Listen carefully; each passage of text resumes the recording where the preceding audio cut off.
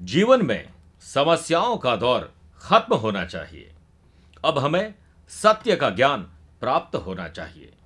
दुख, दर्द और गमों से छुटकारा मिलना चाहिए। अब हमें खुशियाँ ही खुशियाँ और जीवन में शांति मिलनी चाहिए। हमारे कार्यक्रम से प्यार है तो अभी सब्सक्राइब करना चाहिए। मेरे प्रिय शिष्यों, साधकों और आज के हमारे सभी प्यारे नवीन और प्रबुद्ध दर्शकों स्वागत है आप सभी का अप्रैल 2018 के राशिफल के इस माह में। आज मैं बात कर रहा हूँ तुला राशि की। तुला का मतलब ही तराजू है। इस महीने आपकी कुंडली कैसी बन रही है, सबसे पहले यह जानते हैं और फिर सिलसिलेवार तरीके से राशिफल की इस कार्यक्रम को आगे बढ़ाएँगे। इस वक्त आपकी स्क्रीन पर जो कुंडली देख रहे हैं, ये आपकी इस महीने की गोचर कुंडली है। राशि में ही आपके देवताओं के गुरु बृहस्पति लंबे समय तक रहेंगे। यहाँ जो पराक्रम का भाव है कॉन्फिडेंस का घर है, उसमें शनि मंगल का अंगारक दोष रहेगा। फोर्थ हाउस में केतु रहेंगे सिक्स हाउस में नीच के बुध रहेंगे और सूर्य के साथ रहेंगे।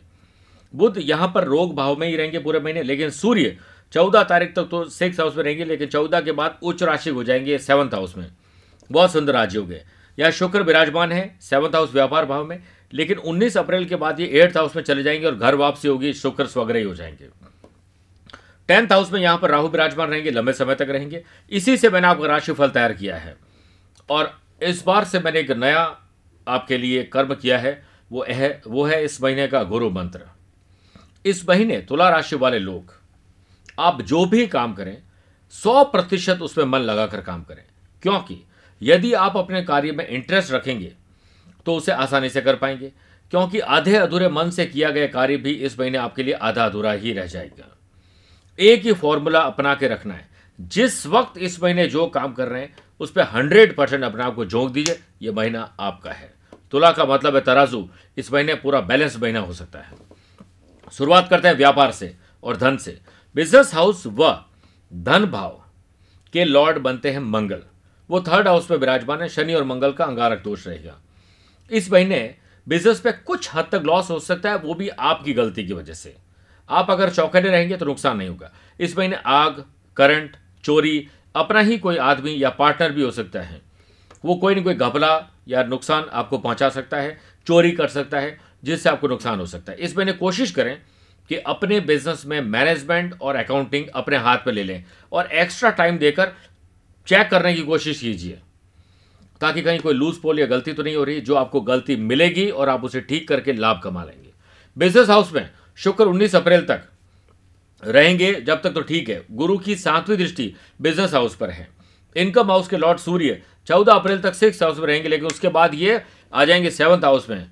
उससे पहले बुधादित्य योग रखेंगे, ये प्लस पॉइंट है। लेकिन इनकम हाउस से षडाष्टक दोष रहने की वजह से सूर्य का कुछ हद तक आपको नुकसान हो सकता है। लेकिन बाद में जब उच्च राशि के सूर्य हो जाएँगे तो जो आपने चौदह तारीख तक गलतियाँ और कमियाँ निकाली है, चाहे वो आपकी बिजली में शॉर्ट सर्किट हो जाए, उसका भी हमें ख्याल रखना पड़ेगा। इन सब चीज़ों को अगर आप ध्यान रखेंगे तो 14 अप्रैल के बाद और 19 अप्रैल के बाद आप पाएँगे कि यह महीने में आपको जाते जाते बहुत कुछ नया देकर गया है। सूर्य बिज़नेस हाउस में जब उच्च राशि हो जाएँगे तो आपको अचानक से कॉन्फिडेंस महसूस होगा। गलतियाँ और कमियाँ लोगों से निकालने की वजह से आपका अंगारक दोष जो थर्ड हाउस में बना हुआ है, उससे आप इरिटेट होंगे। गुस्सा जल्दी आएगा। कुछ लोगों को डांट डपट सकते हैं, कुछ लोगों को आप इस प्रकार की भाषा प्रयोग कर सकते हैं कि आपके अपने एम्प्लॉय आपकी जॉब छोड़ के जा सकते हैं। इसलिए इसका भाषा का भी संयम आपको रखना पड़ेगा। यह महीना आपके लिए बहुत अच्छा और बुद्धि से काम लेने की वजह से श्रेयस्कर हो सकता है। कोई नई डील या बिज़नेस शुरू करने जा रहे हैं तो उसमें अलर्ट रहकर करना ज़रूरी है। शुक्र एट्थ हाउस में रहेंगे। अगर आप ड्रिंक करते हैं एल्कोहलिक हैं तो इस महीने कुछ ऐसी पार्टीज़ आप कर सकते हैं। जो पार्टी करते वक्त तो मज़ा आएगा, लेकिन उसके जो साइड इफ़ेक्ट है, वो आपको नुकसान दे सकते हैं। याद रखिएगा, बिज़नेस में बहुत ज़रूरी है कि आपकी प्लानिंग और सोच दूसरे लोगों से अलग हो। इसमें आपको एडवांस चलने के बारे में सोचना चाहिए। एडवांस चलने की वजह से आप अपने धन को भी मैनेज कर पाएँगे इस महीने और अपने इनकम को बेटर कर पाएँगे, और उससे आप अपने बिज़नेस में एक्सपांशन पर ध्यान दे सकते हैं।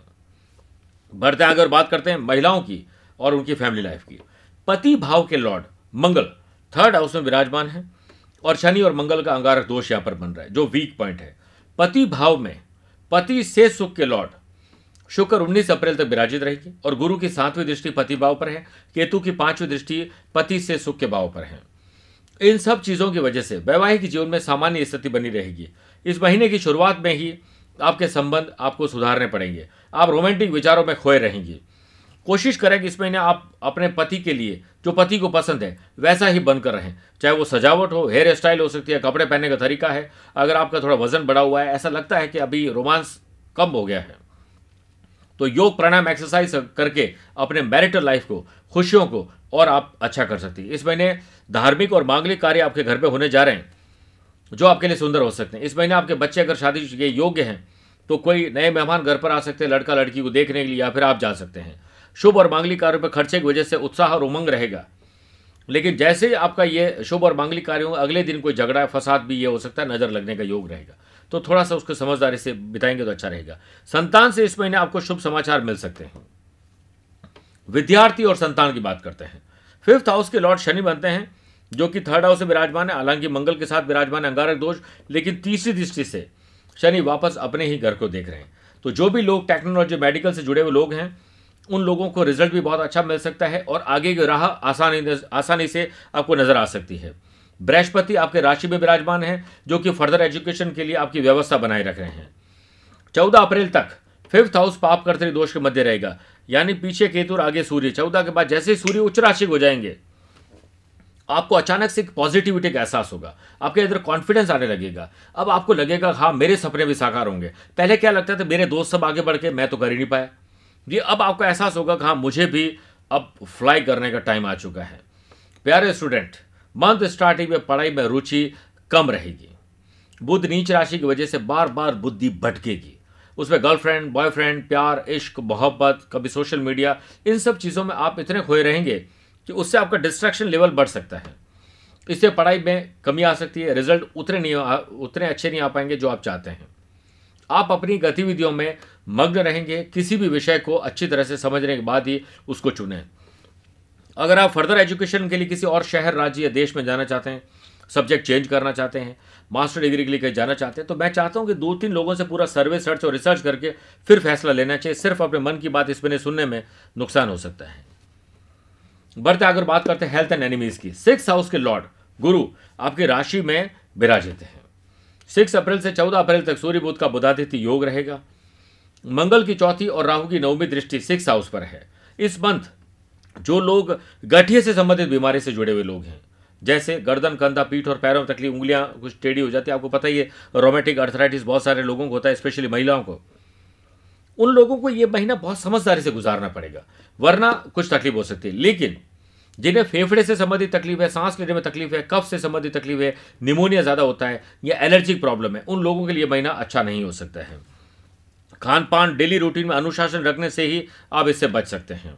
यदि आप मेडिटेशन और खान पान को सही टाइम पर लेते हैं, सही भोजन को लेते हैं, मानसिक और शारीरिक रूप से भोजन पूरा लेते हैं, जैसे तन का भोजन, आपको पता ही है जो आप भोजन लेते हैं, लेकिन मन का भोजन है ज्ञान, उसे लीजिए। और मन की खुद की इम्यूनिटी पावर और रेजिस्टेंस पावर उसके लिए करिए ध्यान तो लाभ मिल सकता है। शुक्र इस महीने बहुत अच्छा रहने की वजह से जो लोग पार्टीज़ के शौकीन है सिगरेट पीते हैं, शराब पीते हैं, उन लोगों को तकलीफ़ हेल्थ में आ सकती है।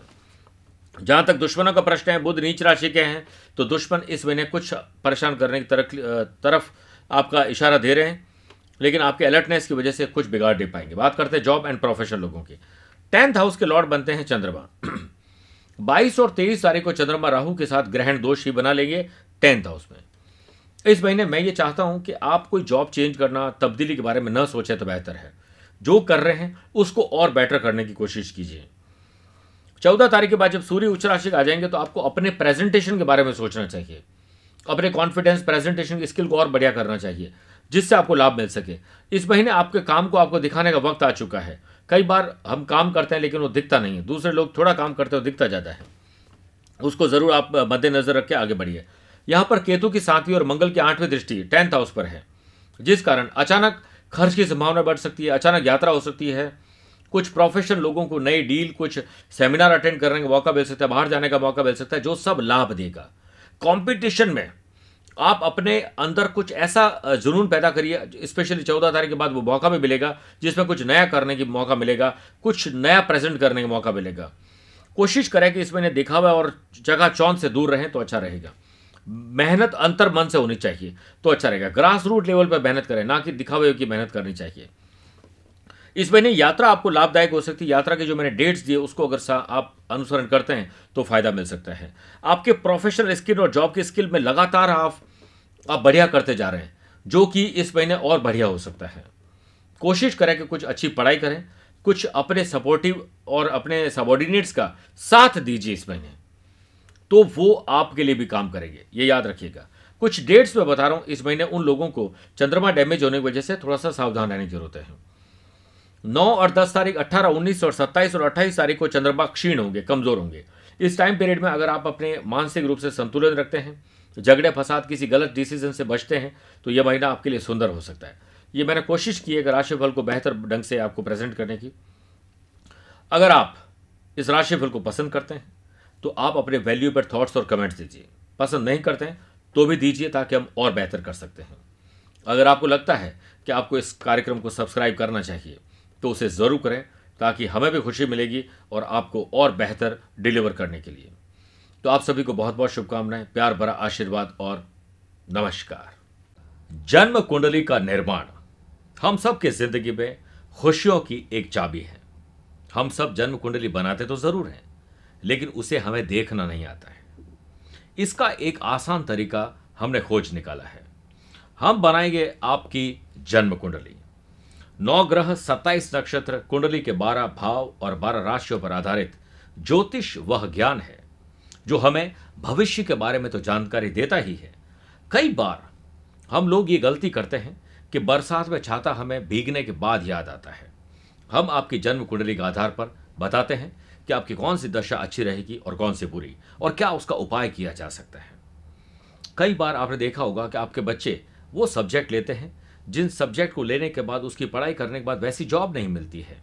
तो क्या कारण है कि हमने कहीं गलत सब्जेक्ट का चयन तो नहीं कर लिया? है हमें नौकरी करनी होती है लेकिन हम बिज़नेस करके घाटा खाते हैं। हमें बिज़नेस करना होता है, लेकिन हम नौकरी कर रहे होते हैं।